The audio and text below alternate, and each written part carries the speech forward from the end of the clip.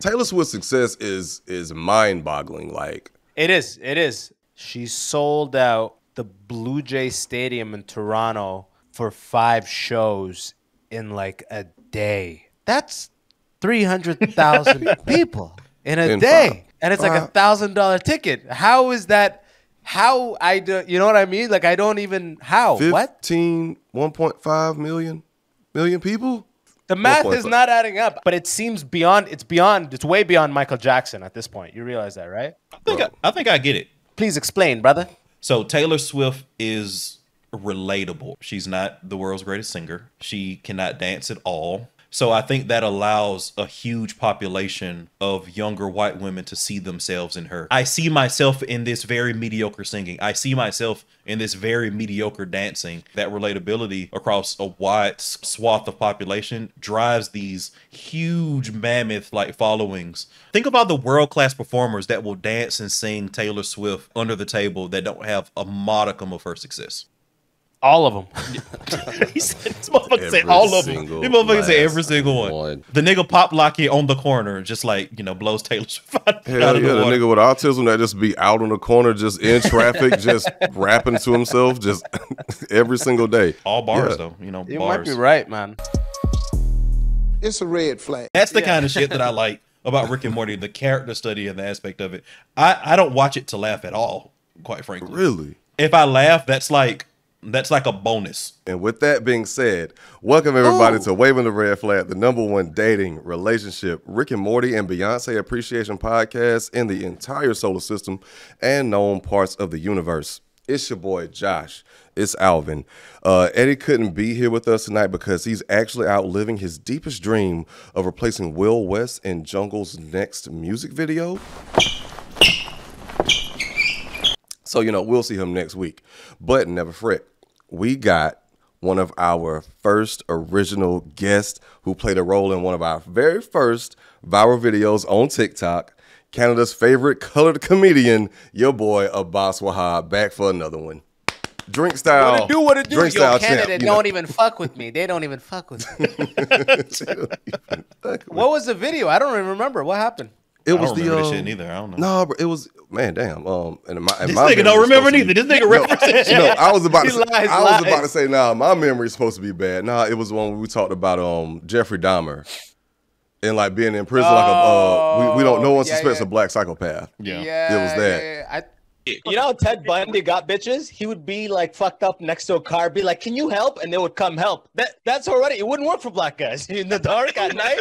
Can you help? No, nigga, Right. they're off. You know, it wouldn't wouldn't even work. I thought you were giving me a Shay Shay level intro. I was like, oh shit. Hey man, that's, that's, go. hey, that's what I do low key, just a little bit. You know what I'm I'm know. I mean, if you wanna if you wanna dish on the the comic community and like let us know some shit, like let us know, man.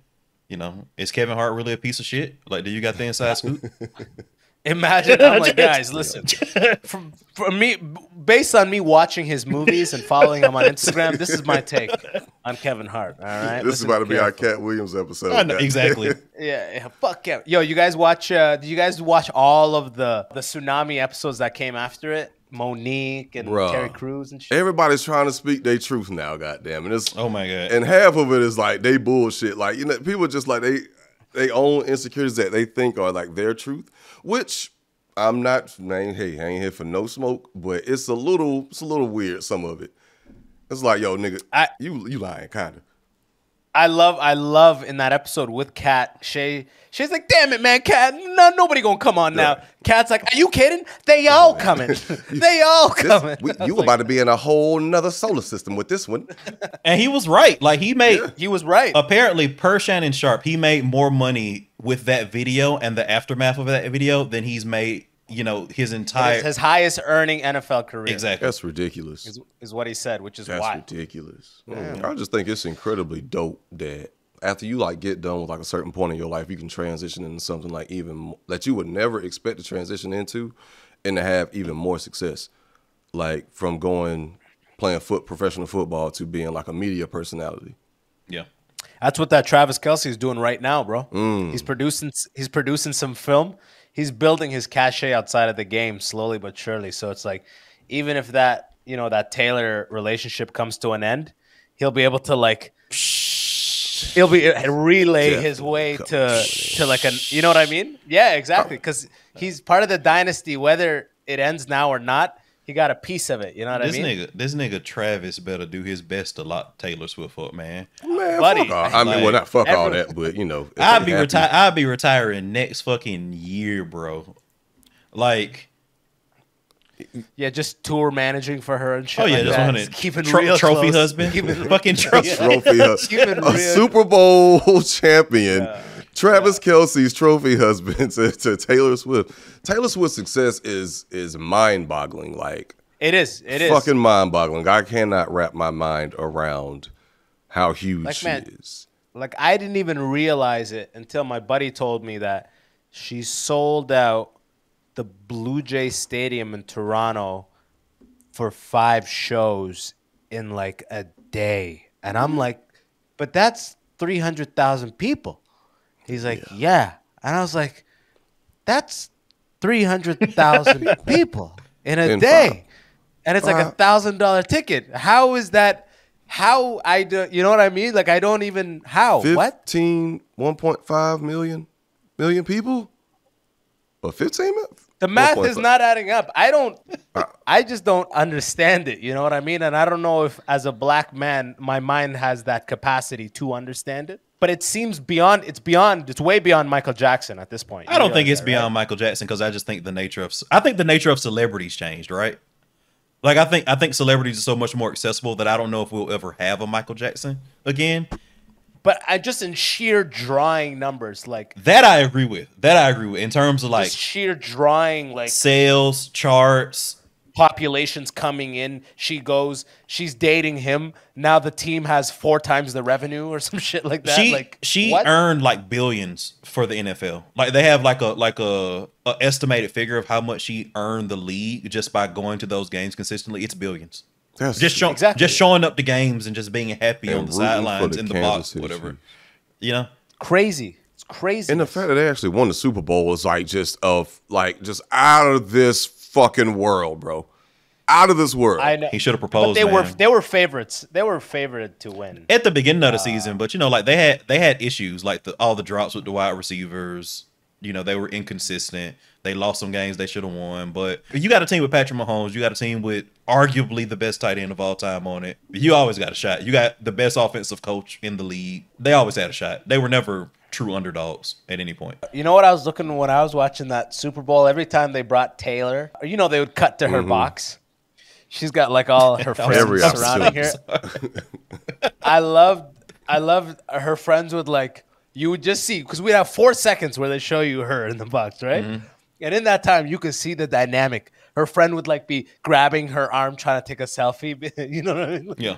Just like trying to pull her. Everyone's trying to get her in Yeah. this bitch in her life and some fragment or another. Yeah. I'm like, wow, what a fucked up life that is. That's some next shit. The thing that got me is that she's so famous is that other famous people would be in the box with her and they wouldn't even acknowledge that there were other famous people like standing right next to her. Like it was one game. This may have I don't know if it was Super Bowl, but it was one game where Blake Lively was in the box next to her and they were just like chilling. And it was one where like Ice Spice was in there. And like the com- Oh, yeah. the Oh. commentator the commentary team didn't acknowledge that shit at all. It was just like, okay, Ice Spice is right there. Okay, Blake Lively's right there. But Taylor Swift is dancing a little bit. shit. Taylor Swift that's is that's the Super Bowl. yeah, Taylor Swift is doing the the swag surf right now. That's all we care about. I, I hated it for that because it's like, oh, oh my god, you bringing such mayonnaise to the culture. Like, I, oh, it it just it it just it does not sit right with me when I see such uncoordinated stiff ass swag surfing. I, I hate it.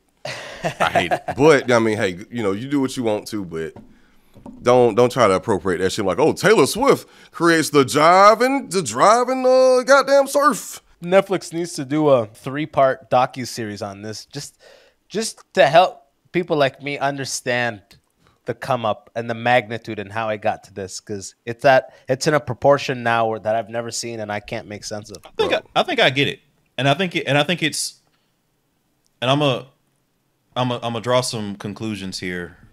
Um, and I, Please and I, explain, I, and I, brother. and I promise I'll bring it home. But I think it's very similar to Drake's early success and why he continues to to be a juggernaut in his own right. So Taylor Swift is relatable, right? So I don't think she's. I don't think she's super talented. She's not the world's greatest singer. She cannot dance at all. So I don't think she's like a phenomenal performer in any stretch of the imagination. So I think that allows a huge population of younger white women to see themselves in her because it's like, oh, I see myself in this very mediocre singing. I see myself in this very mediocre dancing. And I think that that relatability is is is poignant. And I think that's what drove a lot of Drake's early shit. Drake's early shit was like, I'm a sad boy because girls be doing me wrong and shit, you know, Marvin's Room type shit. And I think that if you draw that parallel across a lot of music, that relatability across a wide, you know, swath of population drives these huge mammoth like followings.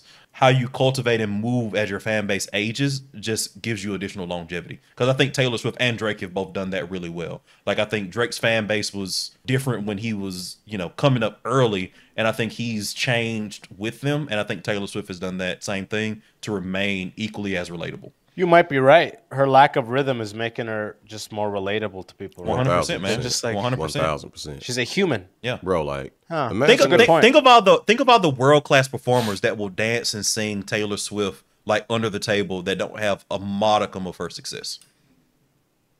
All of them. he said, this motherfucker said Every all of them. single This motherfucker said every single one. one. The nigga pop locky on the corner just like you know blows Taylor Swift out, Hell out of yeah, the the nigga with autism that just be out on the corner, just in traffic, just rapping to himself, just every single day. All bars Yeah. though, you know. You bars. might be right, man. Nah, bro, like, cause like Taylor's, I mean, it's crazy because like Taylor Swift is so goddamn big. She got Travis Kelce in trouble for goddamn appropriating a, a, a fade, a, a, a common Oh, fade that blew my mind. That was the stupidest shit I've ever seen. Um, that's that's stupidity. That How? How? You can't you can't fade from a two to a one now without without uh, having a black friend cosign. Yeah, You need a, you need a black. A black friend. He's stick- Are you fading into another length of hair, motherfucker? oh my god, I ain't never seen no shit like that. How dare you shit on slavery? What? Like what? But yo, man, y'all trying to get into a let's get into a quick topic. Oh, Let's get it. I got one. I got a good one. Ugly. I wanted to talk, get your perspective of boss on like comedians being held to like a different standard. I think it's all bullshit, man. I think it's. Oh, I think, let me let me shut a video. Let me shut a video, my brother. Let me shut a video real quick. oh god, I, I don't know. This thing works, brother. do play. Do play. I know, right? So I'm trying to. And this is from. Oh my God! All right.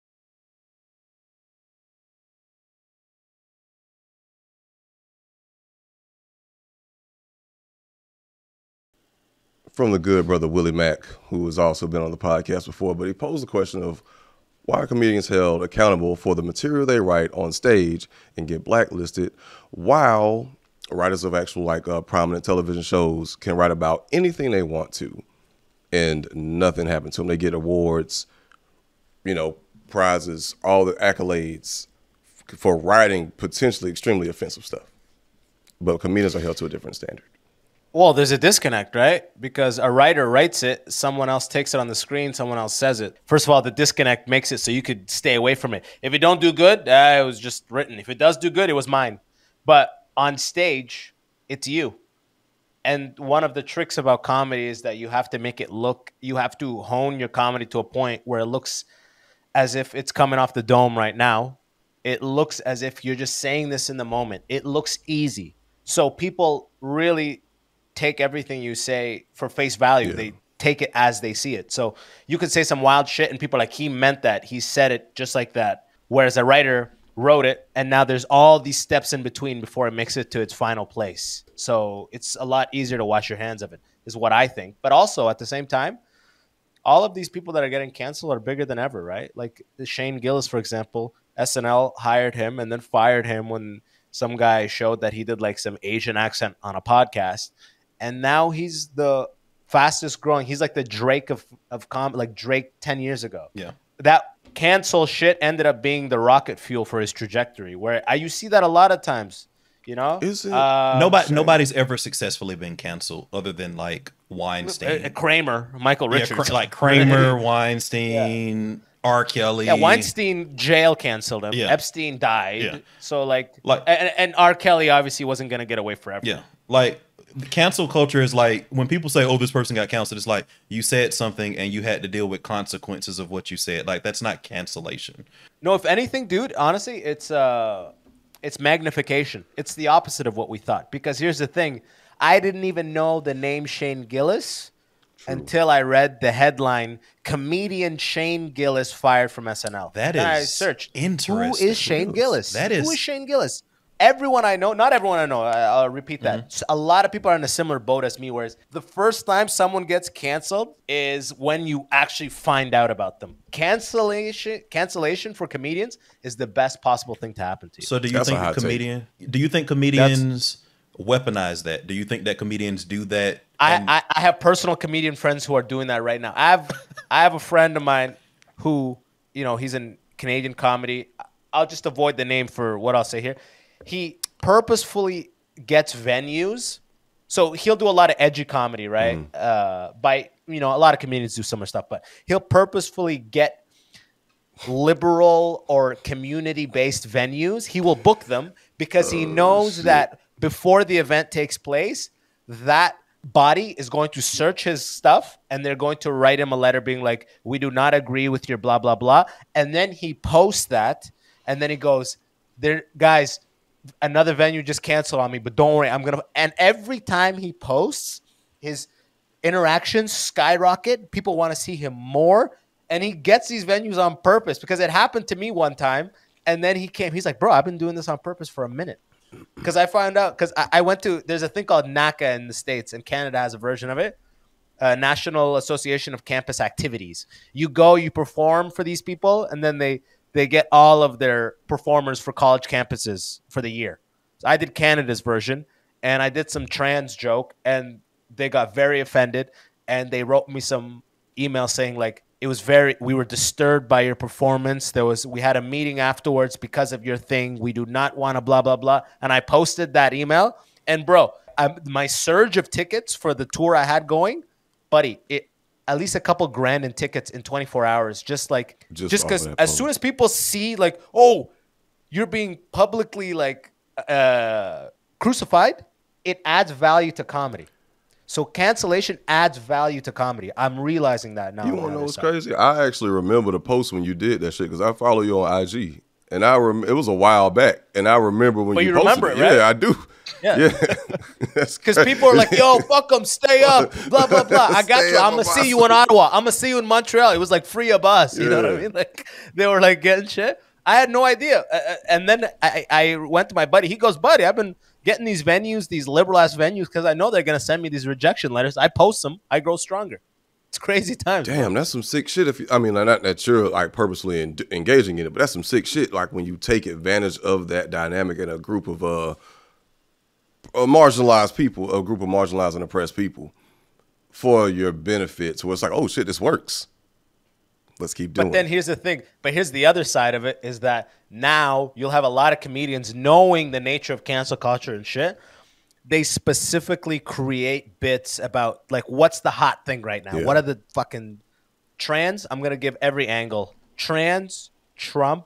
Uh, wh- wh- what else is there? You know what I mean? And they'll specifically target these groups of topics to create bits about because they know like it- it's similar in the world of podcasting. You know, if like if Trump got arrested yesterday and we're podcasting today, we got to talk Trump. It's going to he's be in the trending, right? thumbnail. You know, it's going to have. It's going to be in the thumbnail. It has to be. It's going, yeah. So comedies, it's in a similar space, but the problem is you you take times to cultivate a joke and hone a joke. So now you have a you have an agenda of only creating jokes about the things that were trending two months ago, and you're not really speaking to your truths. It kind of becomes a little fabricated. So it's a dangerous road, but it could pay off, and it's you know it's a double edged sword. You know what I mean? And my thing with, so one, I do I do want to circle back around to to that because I think your insights on that are extremely interesting. But before I get too much on a tangent with the post, I think that there's a disconnect between what comedians get backlash for and what was called out as what like writers talk about, right? So like comedians can talk about assault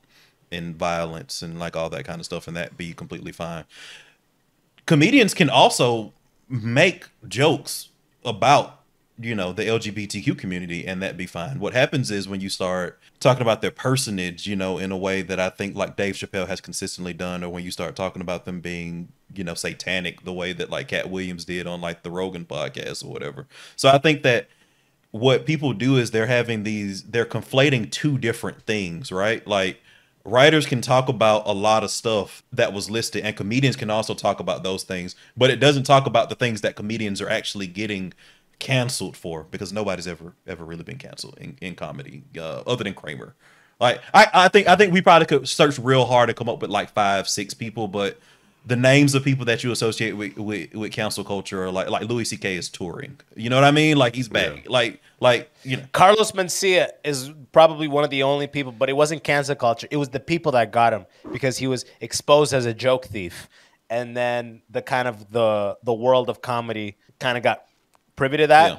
and got smart to it and just stopped his draw. He stopped touring less and blah blah blah. Yeah. It all kind of just fell apart. But even But, but cancellation by the by the by the system Yeah. has never really happened. and even and even with joke thieves, I mean like fuck, Amy Schumer still booked and busy. Like you know what I'm saying? Like I mean than ever. Oh, Yeah, like, I But mean- she she's got a brand. So now Netflix, uh, Amy Schumer does like Amy Schumer presents, and she just she'll choose.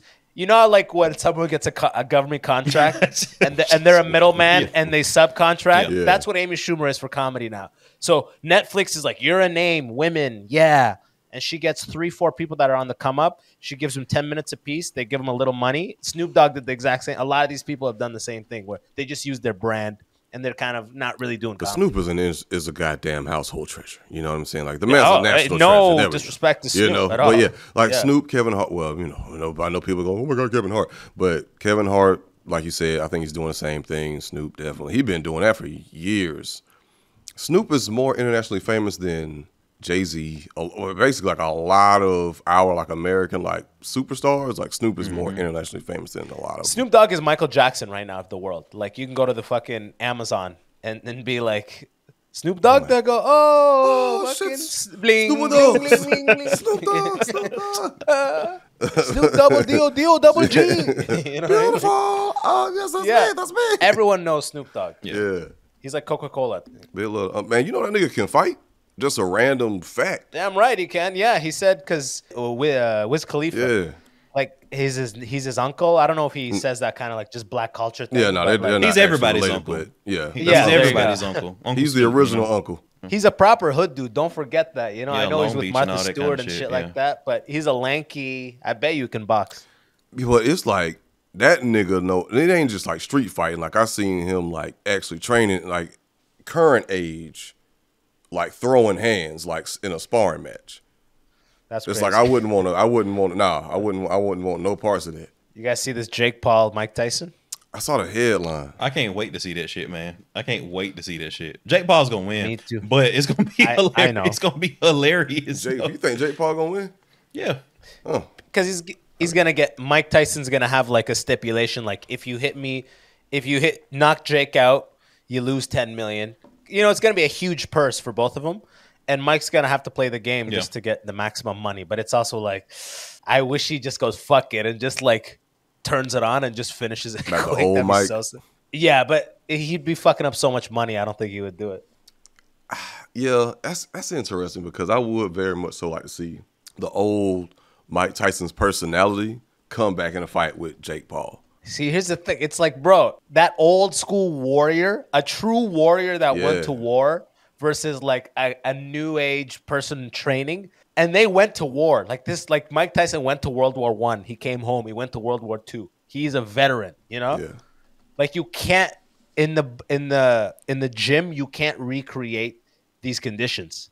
There's nothing Jake could do to get him to the level. Like forget the body. Mike Tyson wouldn't even have to work out. It would just be one round of him being like, "Go," and I think Mike Tyson would win if it was like none of it's this just be bullshit. straight up vicious and savage and ass whooping. Like I mean, just like You just- power punches to the body. Forget cardio. One mu- exactly. Just fucking come back. I told you I was gonna bend you over and make you my lover. And it's like I'll fuck you till you love me. and for and for people who don't know like old school boxing, man, like I like I watched Hitman Hearns and like and like Marvin Hagler like not that long ago, and these were just motherfuckers that was just fucking like punching each other in the face, like in the, you know what I'm saying? Like, it, like, like No footwork, no yeah, defense Yeah. was defense was sleep that fight, man. Like these motherfuckers was was just like punching each other. That's just like not what boxing is anymore. But like you know, Mike Tyson, people always talk about the the power, but like he definitely brought an element to the defensive style that most heavyweights like Oh, the never had. Yeah, like all that kind of stuff. Yeah, Cus. Oh yeah, Yeah. he brought it, man. Yeah, but it's like you put Jake now it's all that shoulder. Yeah, that uh, shoulder shit. Mayweather, that shoulder. that thing, Detroit man. shit. Yeah, but it's like Yeah. you know, Jake Paul isn't ready for that mentality, you know, that that a Mike Tyson had because the the whole boxing even even if he was playing this straight, right? Even if he was doing this in like a real fight environment, the environment is just so different than the environment that created what Mike Tyson like used to be. That's what I'm saying. Like Like he It just up doesn't old exist anymore. world style, like the Romans, like something else. Like he came up in a way that was like, it doesn't that this Yeah. upbringing. It doesn't happen anymore. It's old world, and you can't recreate that. You just can't. It's like a, a fighter pilot that went to war has confirmed kills in the air versus like the the the brightest space cadet. You know what I mean? And even the guys that that like were transitional that I think probably still embodied some of that. Like Jake Paul not fighting none of them, man. Like put like put put put Jake Paul in the fight with fucking Andre Ward right now. Like just do it. Just make it happen. it's it's theatrics. Yeah. It's just eh, entertainment. You know, it's kind of a buzzkill, but you know, Nate Robinson had to go get that money, right? I know. And speaking of theatrics and entertainment, we got to take a quick pause for the calls and pay some bills real quick. Like, and you want to know how we're gonna do it? That was very good, Josh. That was very good, Josh. That was I got you, my brother. Thank you for recognizing the greatness of Bosch. You asked the question earlier off, uh, you know, on the live. Yes, we do have a card game, and it's called It's a Red Flag. So, good people, if you're looking to spice up your game nights, your date night, or just your regular conversations with your friends, family, girlfriend, boyfriend, uh, they, them, you know what I'm saying? If you're trying to get a little close to it, just talk a little something with, kick some game too.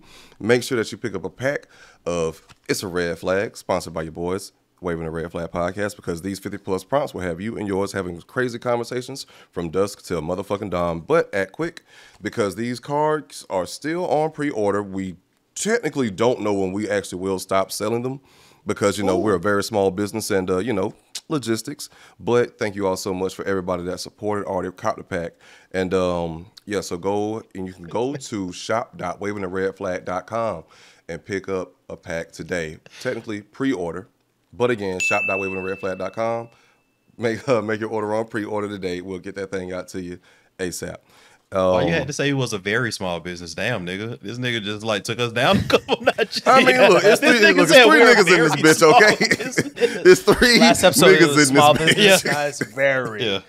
Yo, take one in the middle. Read it. What, Oh like, no, I I got don't- you. I got you. Like, you see, Yeah, you I want to hear what, one sounds. Yeah, like. no, we want to play the game I real might quick. get one. Shit, I might get one. Shit, hey man, support the cause, baby. Goddamn. I gotta. I'm gonna give it to people and be like, "You don't have these. Yo. Everyone's getting Yeah. these." They're like, "Oh fuck, Right. okay."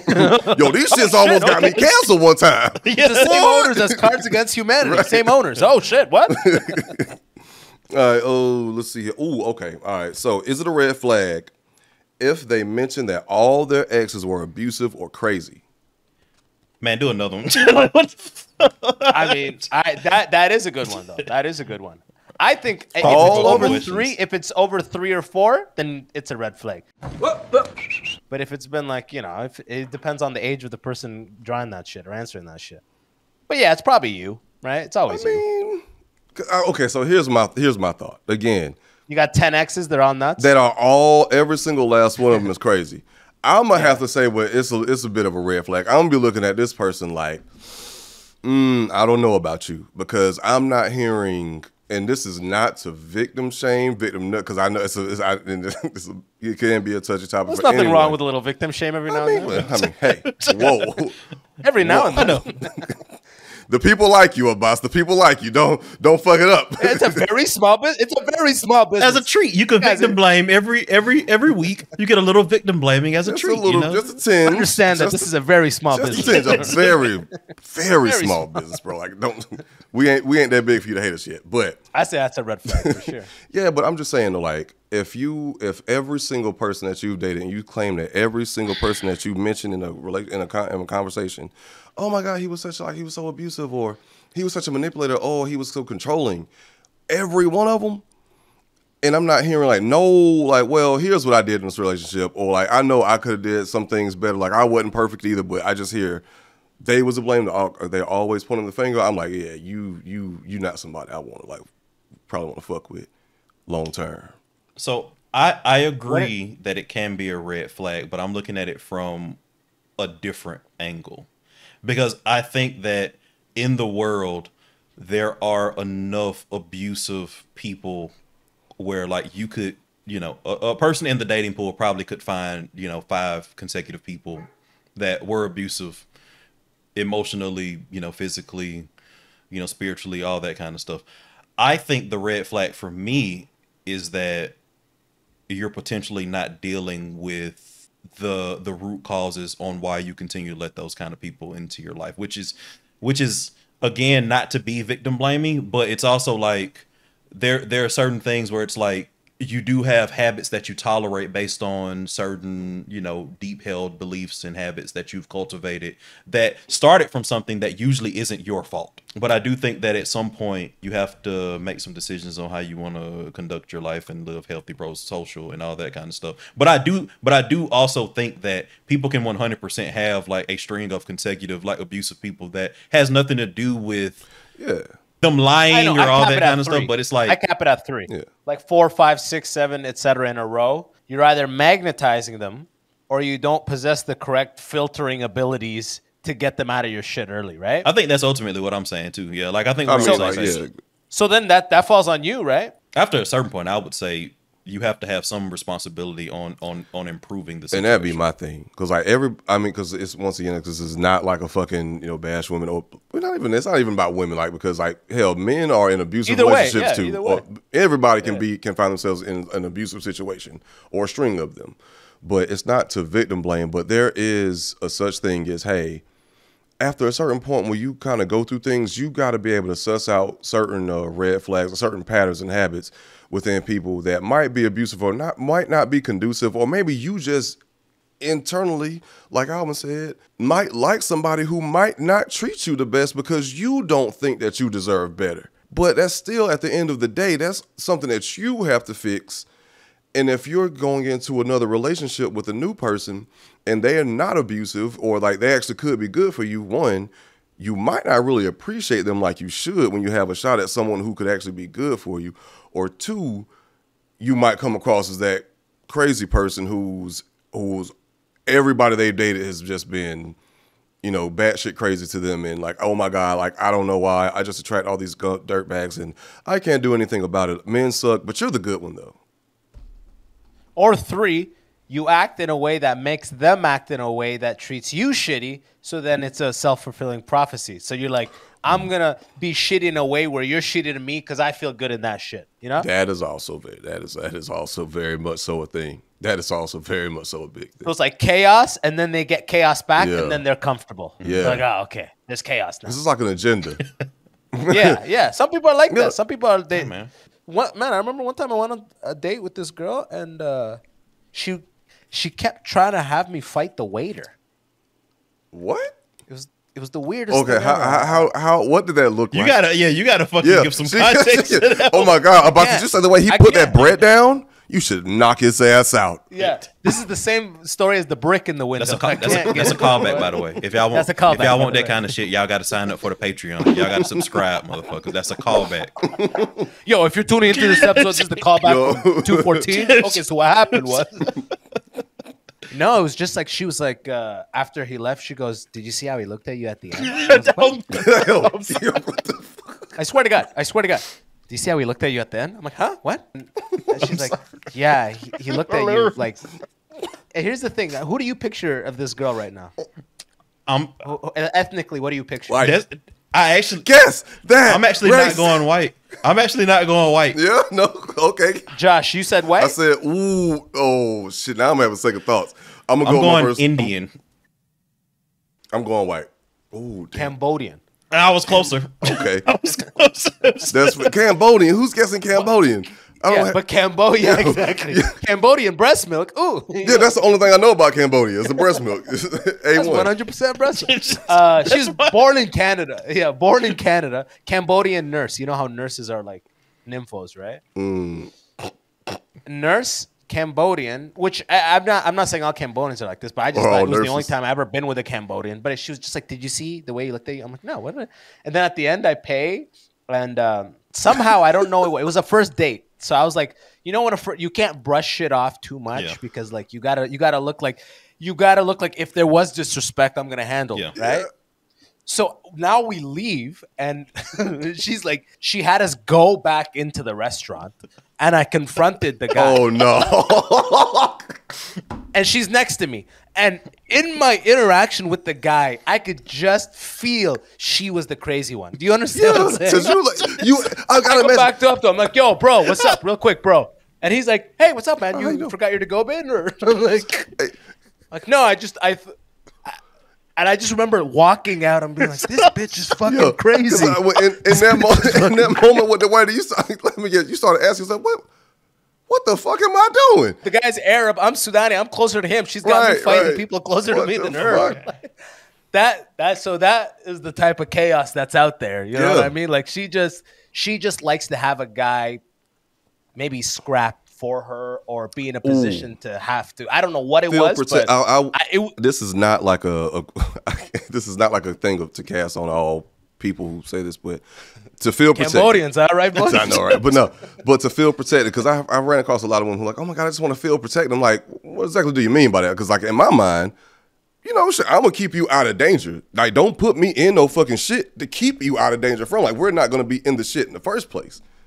Exactly. That's creating the chaos to get you out. That's what we're talking about. And I was like, what? I didn't I didn't realize your life was like a Key and Peele sketch. Like that shit's fucking hilarious. Yeah, no, that's bro. that's that's really fucking good. I didn't even remember this until this whole conversation. Fucking started memory up. Unlocked. was Maybe Oh, even ten years ago. Buy the Yeah. card game, motherfuckers. And Like, that's goddamn, what this see deck will get you. It's a very small business. It's, it's a very small, very small. the smallest possible business. Oh shit, very small. You know what I'm saying? Like, I'm just, I'm just saying, go uh, easy Yo, on yo, us. here, here- this this is not in the card pack, but what if you're dating a girl? Every time she takes her socks off, she sniffs them. That's very specific. Yeah, right. Have you experienced that? What is that? I have not, but I always because Sure. I always sniff my sock when I take it off, and What? I'm always in my head. yeah, I do. Yeah, yeah, yeah. Okay, that's kind of. You guys don't. You guys don't. What the No. fuck? Unless I, unless unless I know my shit is rot, like unless I know it's been like a long day, I need to test something.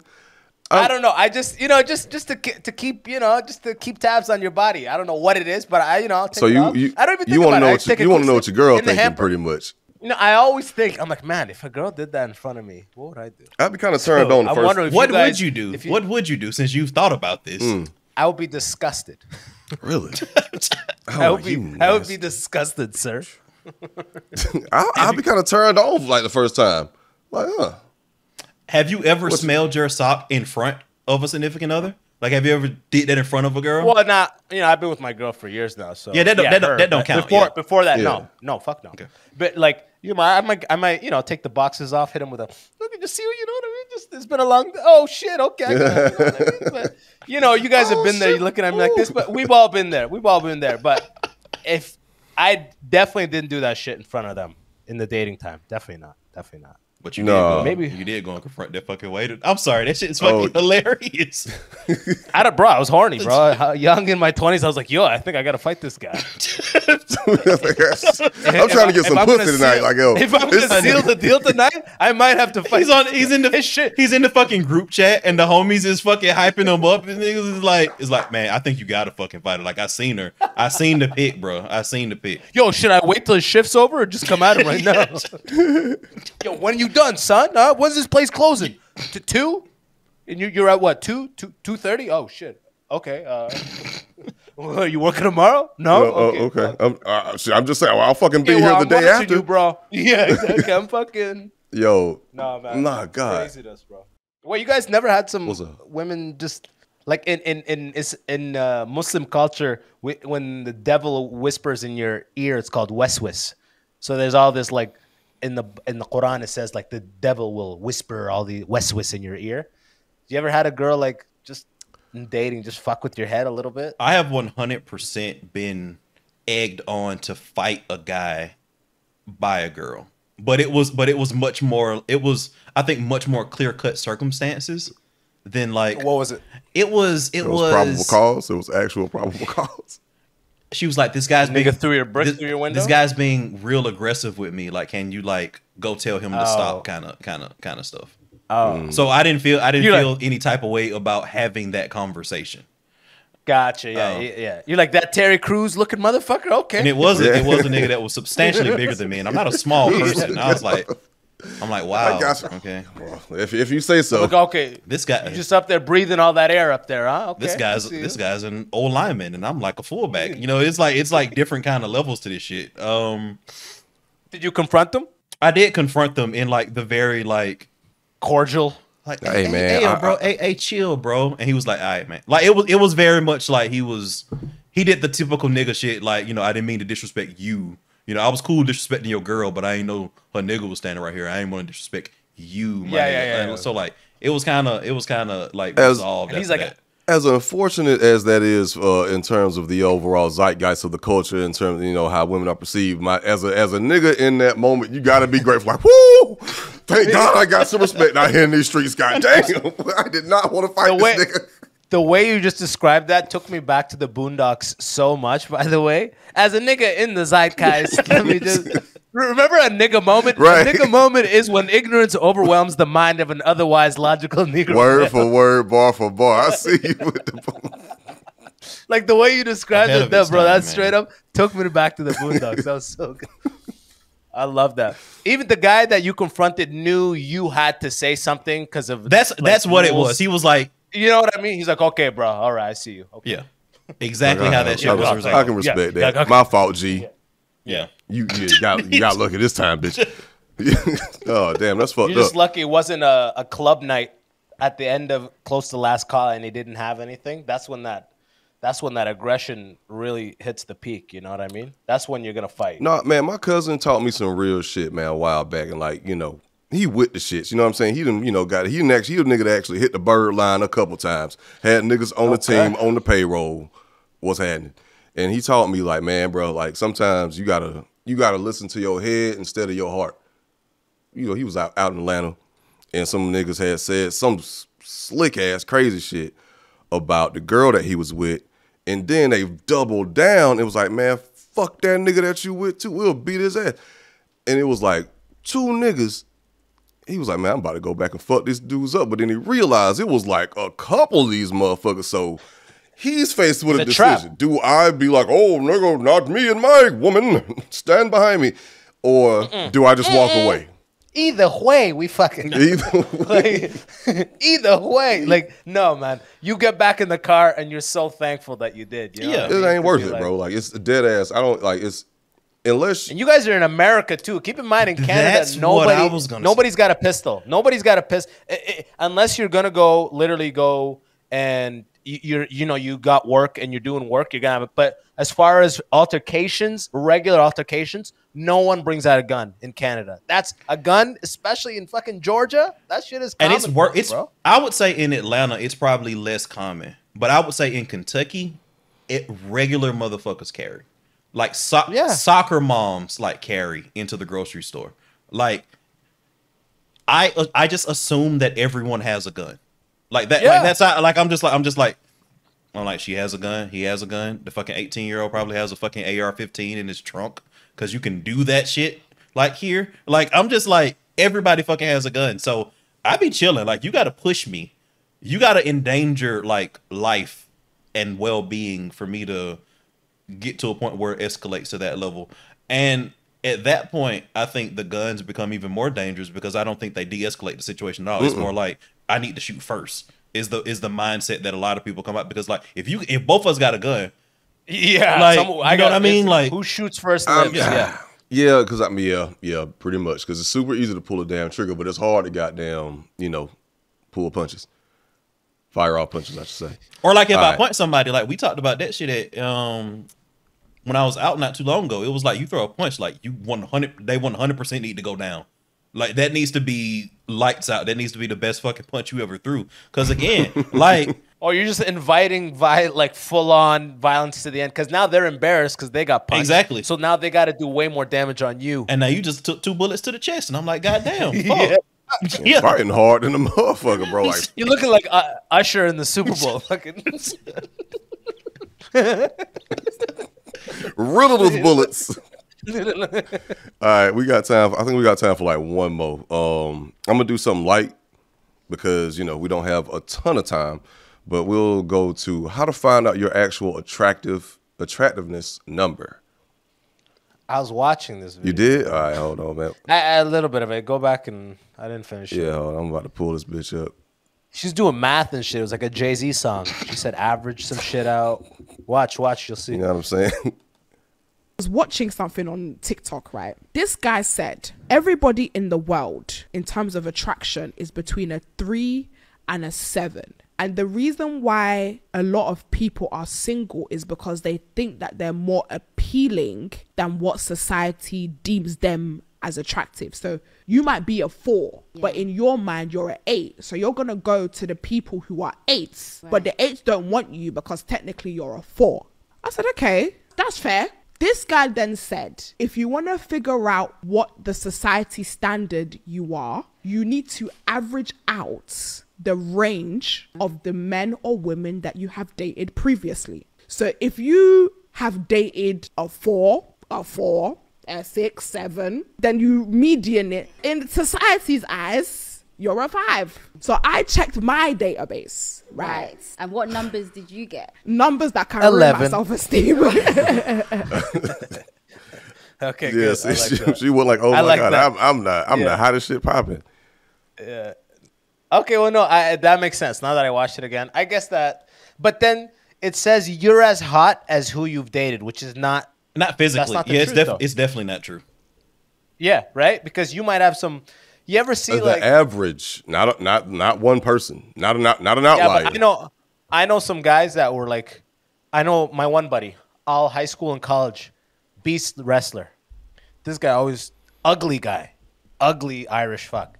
All right, but this guy always bagged the hottest chicks for as long as I knew, hmm. and just the confidence and the physique and whatever you wanna, you know what I mean? It's not always true. You may you may have like a confidence that brings you a lot higher aesthetically than what you could get had you not had it, just based on physical looking. You know what I mean? If you're if you're tall, if I can get my Eddy Button though, Tall, but absolutely if I is if huge. I, if I can get my Eddy Button on real quick, and to bring a little bit of nuance to this conversation and the way that we uh, view Preach, my brother. and the way that we view the attractiveness of other people in relation Go on to and testify.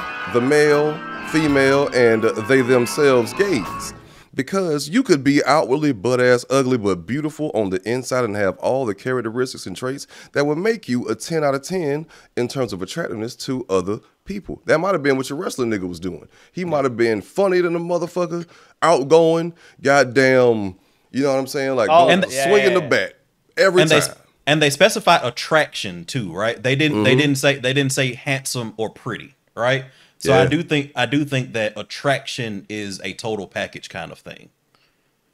Subjective. Yeah. Yeah, well, all, I of, mean, all 'cause- of it. I mean, all of it is subjective. You know what No, I mean? let, let let me. Okay, so I'm not really a huge fan of um, quote unquote bad bitches and like that that whole aesthetic of a Quote unquote personality. nah, quote unquote personality. I don't like intelligent like women who got substance. Nah, fuck all that.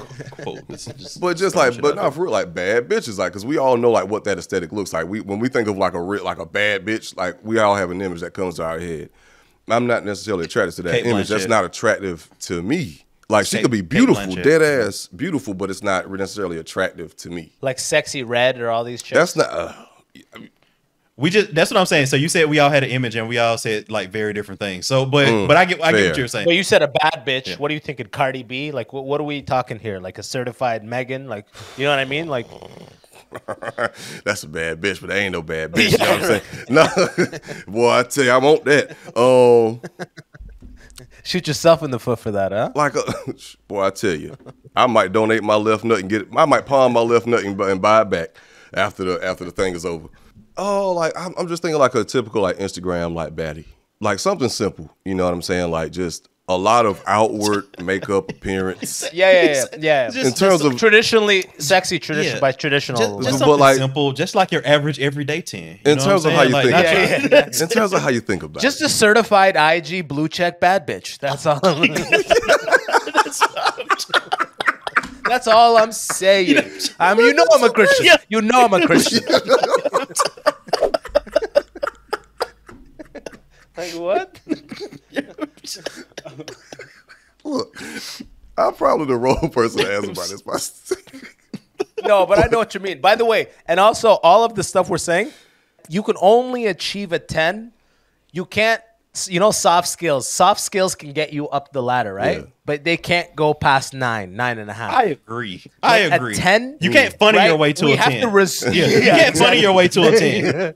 I don't care how charismatic or benevolent you fucking are. I don't care how much you donate or you're at the soup kitchen. You know what I mean? Like Niggas, you a can't. ten is a, a ten is a ten. Niggas, you, can't could money be- your way to a ten neither. By the way, niggas, just letting y'all know that too. You can't money your way to a ten either. What's a 10 then? What's a, if you can't money your way to a 10, then what's a 10?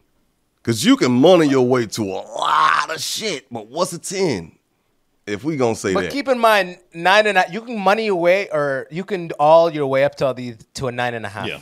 I- And a I would nine and a agree. half gets you in, in, in regular life. A nine and a half gets you everything. There A are almost no like- nine and a half. A ten is like a comet. A 10 ten, is like a a 10 doesn't know what I exist. mean? Like that's that's You're the like, unicorn. damn. And if you find it, and you can't hold it. she's not a 10. right. It's gone. That's because they, gonna- they, they don't exist. I think tens exist. Damn, so like, here's the thing, and that's what I was going to get into. So like, and I think that she was being um, hyperbolic when she was discussing like the ranking situation, where she was talking about some everybody is between a three and a seven. So if everybody's between a three and a seven, that just means that three is effectively a one. scale is. Yeah, that just means Yeah, three yeah, is yeah, effectively a one, and seven is effectively a ten, which means that somebody's a ten and somebody's a one. But I, I know that that's not what she really meant, but I did just want to point that out. But I think I think you can find tens in a in total attractiveness, right? Like I don't think that necessarily like everybody that I would consider a 10 is the most beautiful or the most handsome person like ever, but like I definitely think that they are pretty enough or handsome enough to like those other package features to get them to that to that state. And I do Yeah. think that it's extremely subjective. like extremely extremely externally beautiful by damn near anyone's metrics and also great personality great health financial situation is on point down to earth like I, everything I, that you could I know I know women like that. You know what I mean? Like I'm not. I'm not saying I, I've I'm not dated saying I know a hundred of them. I'm not saying I know fifty of them, but I know They exist. They're yeah out yeah there. yeah Like let's let's put let's put some names to it just for the sake of people at home that don't have the imagination. Halle Berry, late twenties, ten. Where do we Let's put go. her? Boom. Ten. 10. Easy. right? Right. Easy money. uh, yeah yeah Uh, ooh sword Sophia Longero, whatever her name is, early age. Have you seen her in Soul Plane? oh evil have you- longoria evil Have longoria you? What whatever her name is, Sophia, the one in Modern Family, Evil Hispanic. Long- Sophia yeah, yeah. Sofia Vergara. oh sofia vergara Yes. okay gotcha Yeah. excuse me yeah. Have, did you see her when she was in Soul Plane, like Yes. in early 2000s? uh, i wouldn't i mean Lord have mercy, bro. yeah Lord have mercy, bad bro. bad Yeah. oh we Ten. That's a ten. I met a girl in real life, uh, like about a year or so ago, like on a modeling thing, and I was fucking up like the the the modeling shit because I was like just so in tune, just like with her. I'm I'm I'm, I'm just like I'm just in I'm just entrapped. But she was like gorgeous for one, like tall, like body. But she was down to earth. I think I recall. I think than I a recall this. I think I recall yeah, this. Like yeah. I think Oh, I. yeah. yeah. Yeah. You were enchanted on that I was episode that night. enchanted, like I'm. I was enchanted. He's got birds flying over Bro, his head like, and shit I'm- like that. Like, I'm like, uh, uh, hey, uh, you know, let's let's exchange Instagrams. Uh, you know, if you want to. She's like, yeah, for sure. Never reached out to her because I like, man, you too bad for me. Goddamn, I think I could have. She, I definitely could have got a date, but yeah. But anyway, And I, would- I, yeah, and I would also push back on like that your that your rank your rating is based on the median or even the average of who you date because I will say and I've talked about this at length that I've consistently been able to punch above my weight. And I'm not even just talking about again like the the physical, you know, you know, pretty handsome like dichotomy. I'm saying even overall package, I think I've been able to punch above my weight pretty consistently. So I would say that my rating is substantially lower than the average or median of you know the women that I've been able to date historically, and Yeah, by that Like, I- system, like, I know you that. walking around thinking you're a nine. yeah, I, yeah, right? and I and I and I definitely don't think I'm a fucking nine. Like I'm not stupid. Yeah. So like I, Yeah. I feel like you can have some level of um, self awareness. Awareness, Yeah. exactly. To yeah. to understand that sometimes there is a, a discrepancy between what you've been able to punch above your weight to achieve based on luck or circumstance or whatever, and what you actually look like, even what you bring to the table, like all those kinds of things. And I feel like that's a that's a very easy thing for me to do, but I can also see how that can be hard for some other people to do. Yeah, especially if it went the other way around, right? Yeah. What if you keep going below what you should be getting? Then you're like, fuck. Oh well, You're like, fuck. I keep Which- getting which is what she brought I'm up, an- right? I'm an That's what- eight. I'm an eight. I don't give a fuck. I'm an eight. you know, like in your head, Yeah. you right? what if you really I are think- Nate but keep getting sixes on purpose? Like you That- just continually punch below. But you know what it is? Because I remember when I was like in the dating game. Here's the thing: the lower the number you go, the faster you think you'll get what you want. Right? Isn't that the game? Isn't that the name of the game? That is You're like, that's fair. you're like, you're a six, so you better not have any resistance. You know what I mean? Like, Whoa. you- Look, man, five. you- no, no, no, looking- no, no, relax, relax, relax. Hey, don't put it, don't put it like that. Don't. For Christ's sake, you're a complete sociopath. Don't interrupt. That's not how I interpret it. I interpret Right, it on right. some on some on some I'm a sociopath type shit, on some Right. 48 laws of power, like manipulation. Like type never game. go against Not the master. over not here. even. Now, if you've completed all the other steps properly up to this point, she'll naturally want to take the relationship to the next level. Relax, boys. You guys took it on some fucking. It's okay, Machiavelli. Like just go ahead and do what you're gonna do, man. Jonathan Major Yes. shit there for a second. I, I am a great right, man. I am a great man. I am a great man. Any I'm gonna do be great lucky to things. be No, down on her knees No, in, like, yo. in front of me. Yo, what do they say? If you don't get to home base by the first date, that's fine. That's the name of the game. Second, third date, that's right. If she's a 10, I'm waiting 10 dates. I'm waiting 11 dates. If she's a five, or six, and by the second date, I'm not getting any, I'm gone. That's what I'm saying. Hmm. That's what I'm saying. I can understand the You're, logic. you're playing way too hard to get. Like, I can understand the logic. You're playing way How do too you hard. guys not- I mean, no, 'cause, I mean, This look, look. I playing the numbers game. He's I've, like, I've never even thought about it. we're literally, this of- whole segment is numbered. Alvin, this whole is explicitly numbered. you are I've never even thought about. You've it won that before. round. It's right? like no, no, but Josh, hear me out on this, right? If she if she is bad and sh and it's like it's been the fourth day, dinner, great. Let's go back to your place for some, you know, like a nightcap. No, ah, uh, okay, all right. I'll, Yeah, you know, yeah, okay. I'll text you. Get home safe. You know, good night, guy, whatever. You're beautiful tonight. Blah blah blah. But bro, if she's like, you know, she was like some hurting chick that's funny. Sick, she's funny, and we hung out one time. We hung out two times, and it's like you can like, and then she doesn't give it to you on the third. You're like, you're not that funny. You know what I mean? You're not that funny. I'm gone. You're not that funny for me to stick around. I don't give a fuck. and it's funny. Yeah, Like- that's the truth. Whether like- you agree with me or not, this is how No, we no. all I, think. look, I, I get And it this thing hey, is it's hilarious because you're a comedian and you're just like, you're just not even funny to me. Like you're just like fucking hilarious. Like, sure, I have a fucking license on funny, and you ain't it. Like not that funny, goddamn. But it's no, like, I know funny. Funny is what I do. Funny is what I am. Imagine back in the day. Yeah, funny is what I am, and you are not that. Nor are you attractive. Goodbye. Like what the fuck? I can. That's some I can definitely see like a younger boss like getting that shit off, like to one of these bad chicks that just wouldn't give up the draws. Like you know what? I'm Yo, tired yo, of playing bro, these games. You should have heard how confident I was when I had hair, bro. Ooh, Disgusting. Disgusting. line up, fresh lineup, bro. I'd say some wild oh, shit. I mean, I mean, shit. Like, if it, I'm just like, yo, if the vibe ain't there, like, if I don't feel like you're mutually attracted to me, like, if we couldn't just like kiss at, you know, like at any moment, not at any moment, but like if, if like the if like if I don't feel like that vibe, The rate of progress. the, I mean, like the rate of progress, but like also just like just the little intricacies of like interactions, like touching on me. Or like Yeah, looking deeply into my eyes and like getting close to me, like you just got your face extremely close to mine. to Where Signs, if I just, you know what I mean, like that's that's sort of that level of intimacy. If I don't feel that, I'm not. I don't give a fuck how goddamn bad or cold you is. Lies. No, no, Lies. no. I don't know. If you, But, yeah, you know what exactly. I'm saying? You've But, gone, you you've gone on know, some dates with some ones where you guys are this far apart the whole time. Yeah, then I'm not- next- I'm not- next yeah, time we'll no, this- like, you know. you know what I mean. Like, next time we'll be this close. Yeah, you know right, I mean? right. Like, I mean, but you know, you're wishful. You're wishful. you know, after you know, like if there's just just gotta be like a vibe and a chemistry. Like if it's, if that's not there, then I'm not pursuing nothing. After that point, we can still kick it because I might really enjoy your company.